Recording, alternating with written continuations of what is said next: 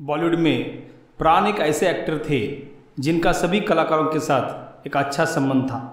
Sixties में उन्होंने किशोर कुमार जी के साथ काफ़ी फ़िल्में की थी और प्राण साहब किशोर कुमार जी को बहुत चाहते थे। किशोर कुमार जी के गीत उन्हें बहुत ही अच्छे लगते थे।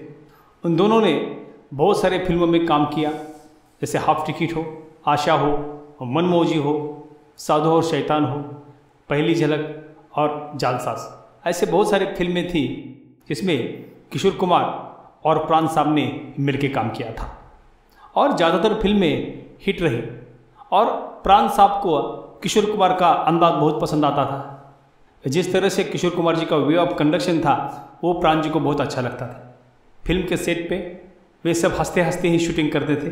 अगर कोई शॉट सीरियस भी हो तो भी किशोरदा प्राण साहब को बहुत हंसाते थे। इन दोनों में एक बहुत एक अच्छा बॉन्डिंग था और किशोर कुमार जी ने प्राण साहब के लिए भी कुछ गीत गाए थे और वो गीत काफ़ी हिट हो चुके थे। इनमें से एक गीत था, आके सीधी लगी दिल पे जैसे कटरिया।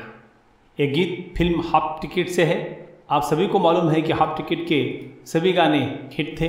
जैसे कि चाँद रात तुम हो साथ, वो एक निगाह क्या मिली, ये भी गीत बहुत हिट था। चिल चिल चिल्ला के, ये भी गीत हिट था। आके सीधी लगी दिल पे जैसे कटरिया, ये भी गीत हिट था। तो हाफ़ टिकट फ़िल्म का संगीत निर्देशन किया था सलील चौधरी साहब ने।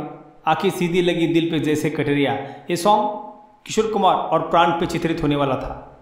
किशोर कुमार ने इस गीत में लेडीज़ का रोल किया था। मेल का रोल प्राण कर रहे थे। आके सीधी लगी इस गाने के लिए किशोर कुमार जी प्राण के लिए गाने वाले थे। और जो किशोर कुमार जो भूमिका कर रहे थे फीमेल की, उसके लिए लता मंगेशकर जी गाने वाली थी। मगर कुछ कारणवश लता मंगेशकर जी, ये गाना नहीं गा सकी। ऐसा भी कहा जाता है कि लता मंगेशकर जी को किशोर कुमार जी के लिए as a playback singer female voice में गाना थोड़ा अनईजी लग रहा था। इसलिए वो जानबूझ के प्रैक्टिस सेशन में नहीं आ रही थी। किशोर कुमार जी लता मंगेशकर जी की बहुत रिस्पेक्ट करते थे। उन्होंने बाद में सलील चौधरी साहब को रिक्वेस्ट की, क्या ये दोनों पार्ट वो गा सकते हैं? पहले तो सलील चौधरी साहब को लगा कि किशोर कुमार जी मज़ाक कर रहे हैं। तो किशोर कुमार जी ने कहा कि वो उनको गाना गा के सुना सकते हैं और किशोरदा ने एक गाना गाना चालू किया। जैसे किशोरदा ने गाना गाना चालू किया तो वहाँ पे जो जितने भी लोग बैठे थे, सब लोग देखते रह गए। किशोर कुमार फीमेल वॉइस इतना अच्छा गा रहे थे और प्राण साहब के लिए वो जो गा रहे थे, प्राण साहब के वॉइस के लिए एकदम सूट था।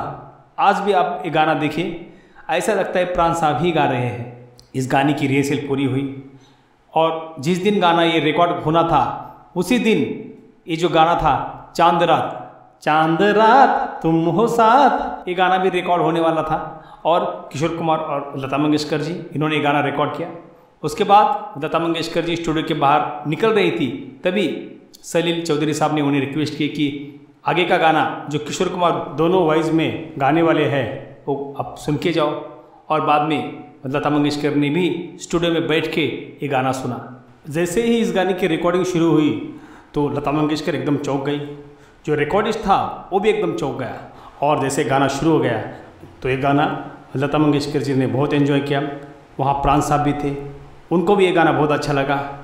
और पूरे रिकॉर्डिंग के समय लता मंगेशकर जी हंसती रही। और उसी वक्त उनके मन में ख्याल आया, ये तो आदमी जीनियस है। खुद लता मंगेशकर जी ने अपने ट्विटर अकाउंट में 2019 में ये सब किस्सा बयां किया है। आप इस स्लाइड में उनके कमेंट्स पढ़ सकते हैं।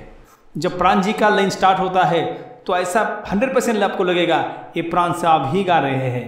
यही तो किशोर कुमार साहब की खासियत थी। पहले तो बांधी निगाहों की डोर, अब हमसे कहती हो, चल पीछा छोड़। ओ गोरी, ओ नटखट, ओ खटपट, ओ पनघट, ओ झटपट। पहले तो बांधी निगाहों की डोर अब हमसे कहती हो चल पीछा छोड़। तोरे नहीं ना ओ मिठे बहना ओ तोरे नहीं ना हाय हाय।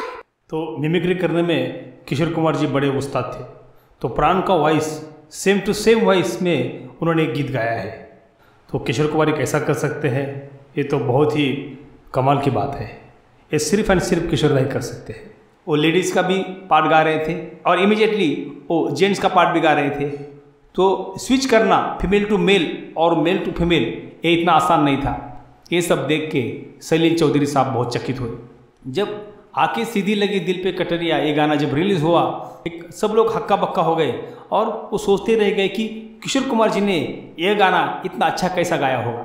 किशोर कुमार जी एक रियल जीनियस थे और जिस तरह से किशोर कुमार जी ने एक्टिंग की है और जिस तरह से उन्होंने गाया है, ये सिर्फ़ एंड सिर्फ़ किशोर कुमार ही कर सकते हैं।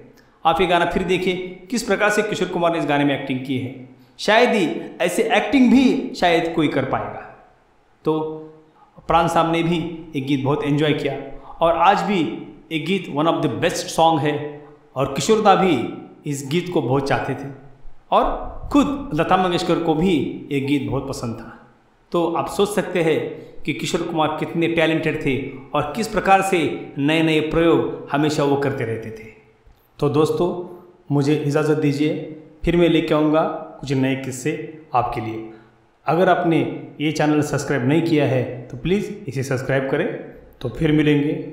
जय हिंद, जय भारत।